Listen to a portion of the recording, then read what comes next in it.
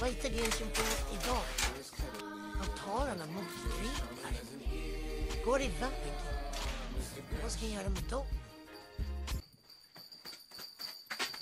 Och sopkvastarna. Går han iväg med dem också? När personalen kommer till stallet nästa dag så är greparna och sopkvastarna utkastade på marken. Men här ska de inte vara. De ska ju vara i stallet. Oj.